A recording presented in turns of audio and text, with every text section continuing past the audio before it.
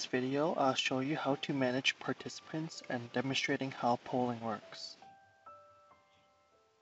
To invite people onto your Zoom meeting, you can click Alt I or right here this icon invite others. So you could invite um, a speaker to speak for your class through email through here or you can do for contacts or room system. I recommend by email or by directly using the URL link to send to the speaker. You can also copy the URL from right here and send it to your speaker students. And students can also join the Zoom meeting through their Canvas too by going to the same module, Zoom, and in their current meeting, they can simply click Start to enter the meeting. To manage your participants, you can click here or Alt U to open up the box. From here, you'll see the list of the participants inside the Zoom meeting. So right now, I am the host, and as a student, there is one more in this meeting. So you have the option to mute all of them, all the participants, and you can also unmute all of them as well.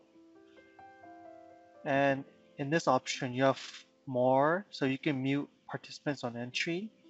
You can also have the option to play a sound every time someone enters the meeting. You can also lock the meeting so no new attendees can join the meeting once it's locked. So I'll set that for no. And you can have the meeting be merged onto the window here if you like to have it on the window. So I'm gonna start the video and right here and it, you can also manage your participants here. So on the top right hand corner with the three periods, you have the option to mute or chat and rename or make hosts, allow record. There are other participants and you, also, you can also hide the video as well.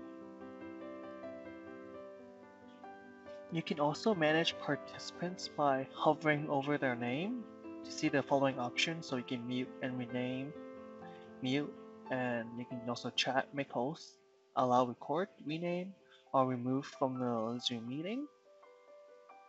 So participants can also raise their hand.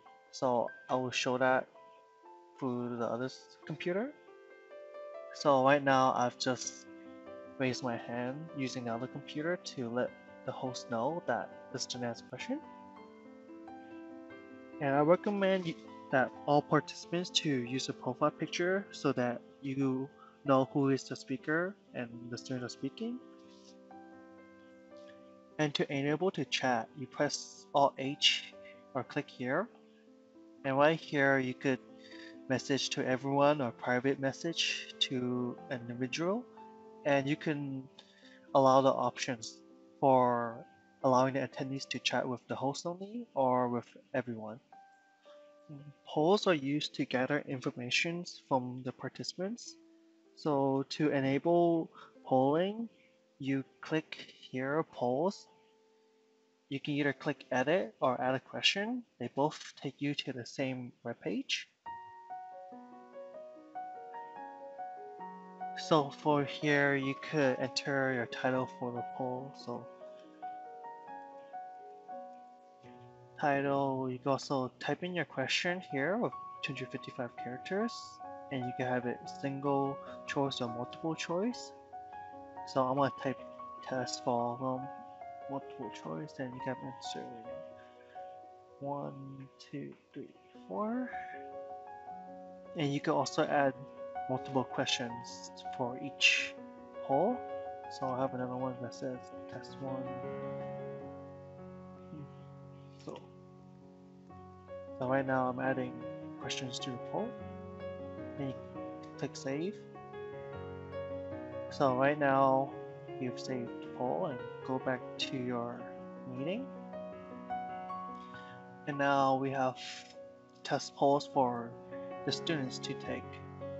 So we click launch poll and right now attendees are viewing it. So I would take the poll using my other computer So I've just did the poll on using my other computer. Click here to end the polling, and you can also share the results with the participants. And you can stop sharing and relaunch polling. Thanks for watching.